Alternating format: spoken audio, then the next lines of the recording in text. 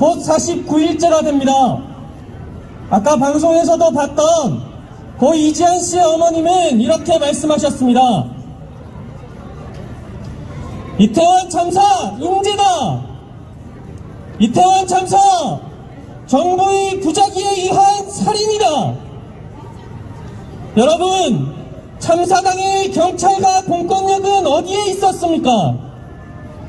정부의 비, 정부 비판 시위를 통제하러 가 있었습니다.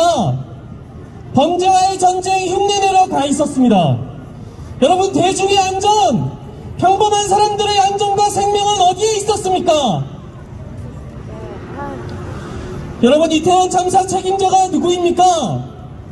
평범한 사람들의 안전이 아니라 평범한 사람들의 목소리를 막으라고 경찰력 넣으라고 누가 지시했습니까?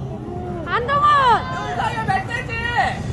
평범한 사람들의 안전이 아니라 마약 수사를 내세워 범죄와의 전쟁 흉내 내는 데 경찰력 투입하라고 누가 지시했습니까?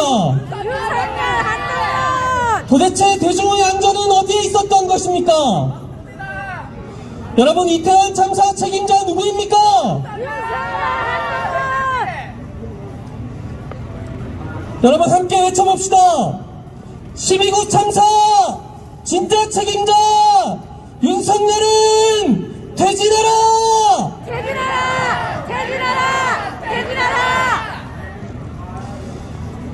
아까도 한 분이 말씀하셨습니다. 검찰이 마약 부검을 시도했다고 합니다.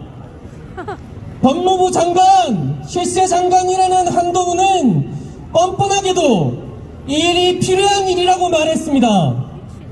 여러분 도대체 무슨 필요입니까? 대중의 불만과 비판을 회피하고 책임 전가할 마녀 사냥거리를 찾겠다 이건 아닙니까 여러분? 맞아요! 내 새끼입니다. 멧돼지입니다. 유가족들은 우리의 두 번 죽이는 것이라며 분노하고 있습니다. 그런데 윤석열 정부는 바로 이 유가족들의 분노를 막으려고 유가족들이 서로 막으려 만나는 것도 방해했습니다. 아까 보셨듯이 유가족들은 윤석열 정부를 패린 정권이라고 부릅니다. 여러분 유가족들의 목소리에 힘을 보태봅시다.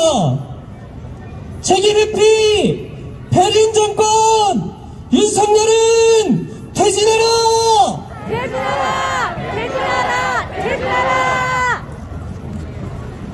윤석열 정부는 적반하장입니다 화물연대 파업을 이태원 참사에 빗대면서 파업에 대한 탄압을 진두지휘했습니다 그런데 이것이야말로 이태원 참사를 불렀던 공권력 사용 방법 아닙니까? 평범한 사람들의 안전과 이해가 아니라 평범한 사람들의 목소리를 짓밟으려 공권력을 투입한 것입니다. 앞으로도 윤석열은 이럴 것입니다. 공권력을 앞서 평범한 사람들이 생계 위기를 느끼는데 여기에 대한 불만을 짓누리려 할 것입니다. 여러분 다들 아시죠? 가스비, 전기세, 윤석열 당선된 지 1년도 안 됐는데 벌써 몇 번이나 올랐습니다. 맞아요. 노동자들 월급은 깎겠답니다. 안 그래도 어려운데 이제 먹고 살기 위한 기본적인 곳에 돈을 쓰고 나면 인간다운 삶을 누릴 여유가 점점 팍팍해집니다. 그나마 사람답게 살아보고자 전세라도 얻어보고자 구한 집 한 채에 대출 이자가 너무 올라가지고 인생이 흔들리는 판입니다. 여러분 윤석열 정부가 돈이 없습니까? 부자들에게는 어마어마한 세금을 깎아주겠다고 말하고 있습니다. 윤석열 정부는 이렇게 이태원 참사를 낳은 이 윤석열 정부는 다른 모든 평범한 사람들, 바로 우리들의 삶을 파괴하려고 지난 반년 동안 득달같이 달려들어 왔습니다. 따라서 연- 여러분 윤석열 이 자를 그대로 둘 수 없습니다. 이태원 참사 희생자들을 위해 그 정의를 위해서도 윤석열이 파괴하려고 하는 우리 평범한 사람들의 삶을 지키기 위해서도 우리는 윤석열을 끌어내려야 합니다. 그렇지 않습니까, 여러분? 맞습니다. 여러분, 우리는 매우 중요한 일을 하고 있는 것입니다. 바로 오늘과 같은 이 목소리를 지키고 더 크게 확대해서 윤석열의 폐악질에 맞서 싸웁시다. 여러분 함께 외쳐봅시다. 이태원 참사 책임자다. 윤석열은 퇴진하라. 퇴진하라! 퇴진하라! 퇴진하라! 퇴진이 추모다. 윤석열은 퇴진하라. 퇴진하라! 퇴진하라! 퇴진하라! 감사합니다.